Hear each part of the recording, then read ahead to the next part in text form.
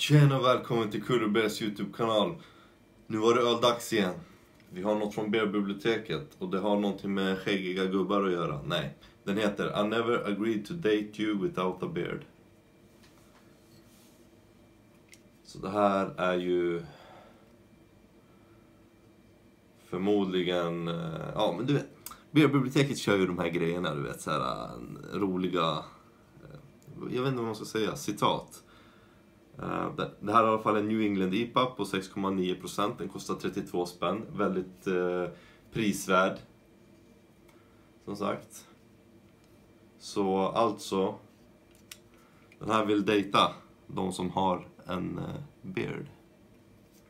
Tur att man har lite då. Vi kör igång. Beerbiblioteket. Från GVG. Häller vi upp. Mm, fin färg. Så här gillar vi. Sånt här gillar vi verkligen.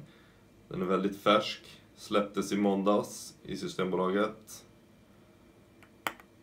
Så bara två, tre, tre dagar gammal ungefär. Skitsnygg! Kolla på den då! Så ser den ut ihop. Fan, jag känner redan härifrån. Fan vad nice! Supergul, eh, drar lite mot det orangea hållet. Ett finger skumkrona, ganska tjockt, små bubblor. Man ser inte alls igenom, jättehazy. Precis som en New England IPA ska vara. Så här ska de se ut. Super hazy. Vi tar och doftar. Mm, det här var lite annorlunda. Ska man bara doppa hela näsan i här, vet du. Okej, eh, jättemycket pineapple, alltså ananas. Den har någonting som inte jag riktigt känner igen. Det är någon speciell... Jag vet inte vad det är. Eh, I alla fall, mycket tropiska frukter. Söta frukter känner jag. Jag skulle vilja säga sockerkaka, men jag kan inte riktigt göra det. Det här är någonting annat. Kan det vara papaya? Ändå inte riktigt. Guava. Jag kan känna guava i den här. Mango. Definitivt mango. En del ananas också. Um, det är någonting i den här som jag inte riktigt vet vad det är. Nektarin, citrusfrukterna. Den har allt, men det är någonting som inte jag riktigt vet och kan sätta fingret på vad det är. Men det är en riktigt behaglig doft. Det är det. Persika, stenfrukter, lite stenfrukter. Eh, persika, nektarin. Kan vara det också. Ja, men vi kör, vi kör. Eh, 32 spänn för den här biran. Ser jättefin ut än så länge. Jättehazy. Ser allting suveränt för en sån här bira. Suveränt. Bra, biblioteket. Ni har lyckats med hur den ser ut i alla fall. Nu kör vi hur den smakar också, så let's go!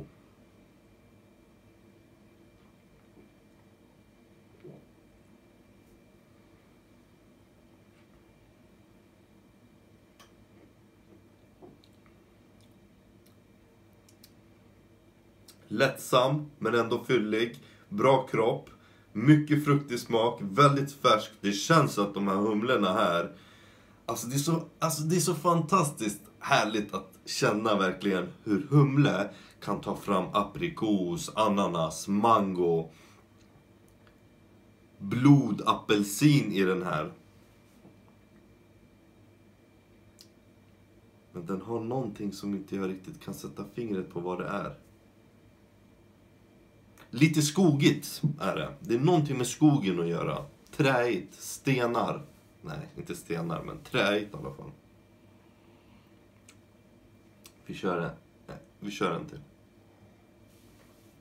Mm. Mm. Den smakar så jävla gott när man sätter den i munnen.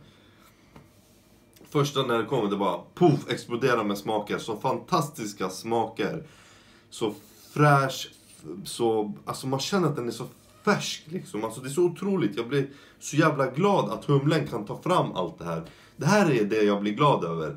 Jag blir glad över att bryggeriet satsar på att sätta i humle som skapar fruktsmak och tar fram liksom smakerna. Och inte liksom fuska med att lägga i en massa frukt. För att det, när man gör när man lägger i frukt i öl, det är att det tar bort dofterna nästan helt. Alltså det försvinner helt. Och den ökar smakerna, men smakerna blir inte liksom... Det blir någonting annat. Det blir drinkaktigt. Det här, dofterna, jag kände redan när jag hällde upp den. En fantastiskt bra nejpa. Det kan vara papaya jag känner. Fantastiskt. Eh, man vill dricka den, man vill sniffa på den. Det är en fantastiskt skön, grym New England IPA för 32 spänn. Bara 32 spänn. Wow, shit. Det här är en öl som tar dig to the moon. Mm. Mm. Och skön bäska också. Det här är New England. Uh, den har låg bäska, men den har bäskan från blodapelsin och grapefruktköttet. Eh, men även från det här vita, vita skalet. Inte själva skalet, men det här vita som omges utav eh, som omger blodapelsinen. Det finns här inne och det är ett stort jävla plus. Bra jobbat, det gillar jag. Eh, jag kan tänka mig att det finns Amarillo i den här. Det kan finnas Simco och Amarillo. Jag vet inte vad det är för humle, men jag kan tänka mig att det finns de här två i den här. Kanske Kashmir också. Mm. Mm. Fantastiskt jävla god öl. Alltså fan vad nice att dricka så här god öl. Alltså när man dricker Napa, kom ihåg, drick dem färskt. Så fort de släpper dem på Systembolaget, gå in på Systembolagets beställningssortiment. Ni kollar datumen, kolla datumen när de släpps. Och så, så bara lägg det på minnet och sen så beställ den när den släpps. Ofta släpps det oftast eh, klungvis med öl samtidigt. Som nu den första februari, då släppte de massor med bärs, typ 115 typ olika bärs. Jag beställde på måndag, jag fick den på onsdag, skitfort, helt otroligt. Men i alla fall, eh, det är så här man ska ha nejporna. Det här är därför jag röstar fram för att man ska ta fram kylskåp, eller i alla fall kylavdelning på Systembolaget, där de förvarar nejpor. Alltså New England IPOR. Alltså för att alla vet, alla vet det här. Alla bryggerierna vet att tre månader är max på en, en New England IPA. Sen är den död. Sen menar de på att sen är det någonting annat. Det här, sen är den någonting annat från det de har bryggt. Alltså när de har bryggt den efter tre månader, det är någonting helt annat. Och, eh, men Systembolagets lagar, deras regler är att du måste för att den ens ska kunna säljas på Systembolaget så måste det vara sex månader bäst före. Så de flesta sätter ju sex månader eller till och med ett år. Eh, men de här duktiga bryggerierna, de, de vet att nej men det är inte det riktigt, de vill marknadsföra sina bärs. Så, för att är du ett litet bryggeri och de, Eh, och, och de är inte så kända, folk kanske inte köper så mycket av, av deras öl. Och om de ska behöva lägga ett år fram och de vet att efter tre månader deras bärs smakar piss. Det är klart att de inte vill att den ska vara kvar på Systembolaget. De vill att den ska vara där tre månader. Om, om inte folk köper den, då, då vill de gärna ta tillbaka den. Men eh, Systembolaget säger nej. För att det ska finnas på Systembolaget så ska det vara minst sex månader. Uh, men skitsamma. Skitsa, skitsamma. Försök att hitta nejporna när de är färska och drick dem färska och drick dem på en gång. Spara dem inte en vecka, två veckor, tre veckor. Utan så fort du får hem dem, börja drick dem. Drick dem fredag, lördag, söndag, måndag, tisdag. Drick en om dagen också om du måste. För att de ska drickas färska. Den här är en fantastiskt nice eh, New England IPA som förtjänar att få ett bra betyg. Jag vet inte riktigt exakt vad den har fått i betyg på Untapped. Jag kan kolla det snabbt. Eh, den har fått... Eh, i never agreed to date you without a beard. Det är vad den heter. Den kommer in på 6,9%, det glömde jag kanske säga. Eh, uh, 3,83 eh, mm, i betyg. Bara 40 har incheckat den. Eh, jag kan säga så här att jag ligger redan på en 4. Om inte mer mer ligger jag. 100%. Um, ehm, citrus och mycket godis, candy, absolut. Mm. 6,9% just för mig. Grejen är så här, jag har ju druckit en DIPA innan.